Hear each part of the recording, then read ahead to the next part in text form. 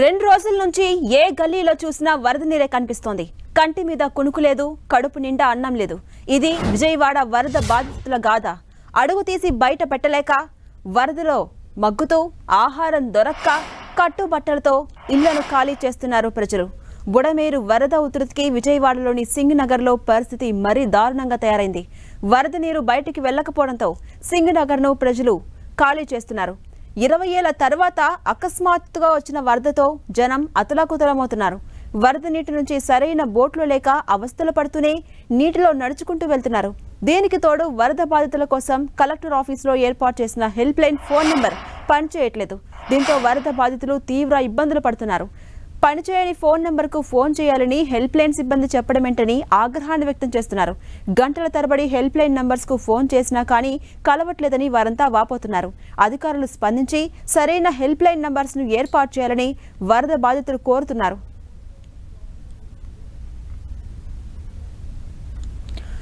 ఇక ఇదే అంశంపై మరింత సమాచారం మా ప్రతినిధి దుర్గా అందిస్తారు. దుర్గా విజయవాడలో వరద బాధితుల అవస్థలు అయితే చాలా దారుణంగా ఉన్నాయని చెప్పాలి. ఎందుకంటే సింగనగర్ ప్రాంతంలో అయితే ఈ పరిస్థితులు అత్యంత కింది స్థాయికి వెళ్ళిపోయాయి. నిన్నటి నుంచి అంటే పూర్తిగా వేల సంఖ్యలో సింగనగర్ని ఖాళీ చేసి వరద నీటిలోనే నడుచుకుంటూ జనం అంతా కూడా వచ్చేస్తున్న పరిస్థితి కనిపిస్తుంది. ముఖ్యంగా సింగనగర్ అంతా కూడా వరదకి ఎక్కువగా ఎఫెక్ట్ అయింది. అక్కడ ఉన్నటువంటి ఏ ఇల్లు కూడా మిగలలేదు. మొత్తం అంతా కూడా వరద ముంచెత్తినటువంటి పరిస్థితి.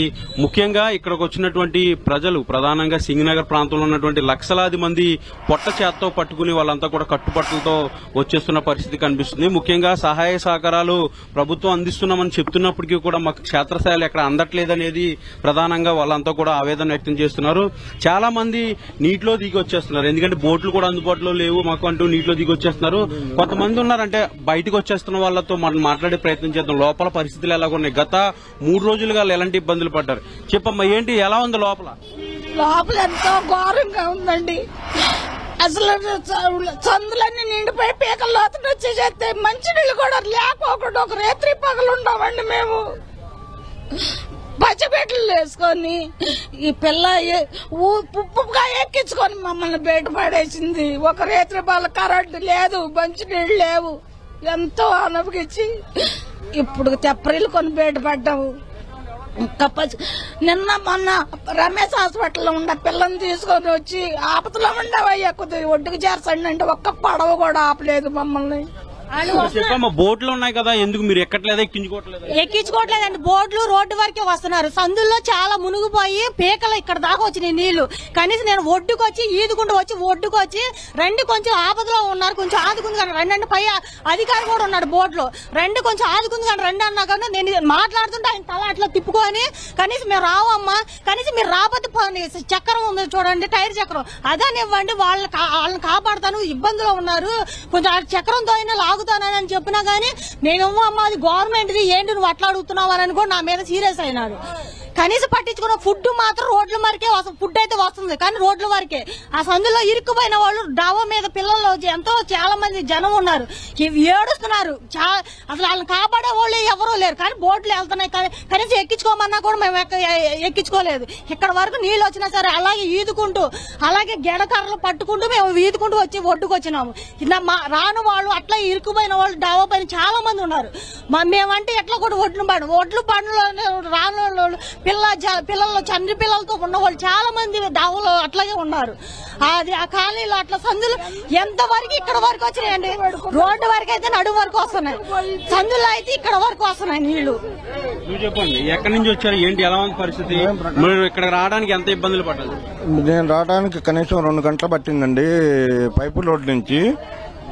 పైపు రోడ్ నుంచి రెండు గంటలు పట్టింది. కనీ కనీసం ఇక్కడైతే ఏమైనా పంపి పంపిణీ జరుగుతుంది కానీ పల్లెల్లో లోపలికి వచ్చి ఒక్కళ్ళు కూడా పంపిణీ కానీ పోలీస్ అధికారులు కానీ బోట్లు కానీ ఇది ప్రజాస్వామ్యం జరుగుతుందో లేకపోతే ఏం జరుగుతుందో ఏం అర్థం కాని పరిస్థితిలో ఉంది.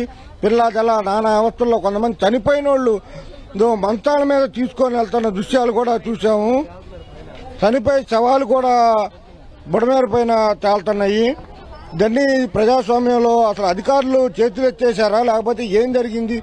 ఏంటి అర్థం కాని పరిస్థితిలో ఉంది. ఇక ఇక్కడైనా ప్రజా అధికారులు కలెక్టర్లు అన్ని శాఖల వారు పట్టించుకొని ఇక్కడైనా సేవ చేయవలసిందిగా కోరుతున్నాము మీరు ఎక్కడి నుంచి వచ్చారు? ఏంటి? లోపల ఎలా ఉంది పరిస్థితి? బోట్లో వచ్చారా? లేదా నడుచుకుంటూ వచ్చారా? ఎన్ని రోజుల నుంచి ఇబ్బంది పడుతుంది మేము రెండు రోజుల నుంచి ఇబ్బంది పడుతున్నాం. బాంబే కాలనీలో ఉంటాం. స- సరిగ్గా అధికారులు రావట్లేదు. ఫుడ్ ఇస్తున్నారు కానీ సరిగ్గా లేదు. అంటే చాలా మంది వృద్ధులు కూడా ఇబ్బంది పడతా వరదలోనే నడుచుకుంటూ వచ్చే పరిస్థితి మనకి ఇక్కడ కనిపిస్తుంది. వాళ్ళు మూడు రోజుల నుంచి కూడా అక్కడ నిద్ర లేక తిండి లేక వాళ్ళంతా కూడా ఇబ్బంది పడుతున్నారు. ఏంటండి నడుచుకుంటూ వచ్చారా? బోట్లైన లేవా? ఎలా? ఉన్నాయండి కానీ మాకు అందలేదు. మేము వచ్చేసాం అంతే లేదు. ఎక్కువ అన్నా కూడా రాలేదు. ఇక్కడి నుంచి కూడా పోనీ అన్న అక్కడ సౌకర్యం ఉందో? అది ఒడ్డుకు వచ్చిన తర్వాత కూడా ఏమీ లేదు. ఆ? నా ఎనభై ఏళ్ళ దాన్ని పాక్కుంటూ నడుచుకుంటూ వచ్చే నీళ్ళలో పడిపోయేదాన్ని అయినా వెనక్కి. అది. అంటే మూడు రోజుల నుంచి లోపల ఉన్నారు కదా వాటర్ గానీ ఆహారం గానీ అన్ని ఉన్నాయా అంటే ఆ వచ్చే అవన్నీ వచ్చే అవన్నీ నిన్న నిన్న నీళ్ళు పాలు ఆ. మీరు చెప్పండి మీరు ఎక్కడి నుంచి వచ్చారు? మాది ఎలా ఉంది లోపల? రాజరాజేశ్వరపేట రోడ్లో రెండో లైన్లో ఉంటామండి. గవర్నమెంట్ మంచి సహకారం చేస్తుంది.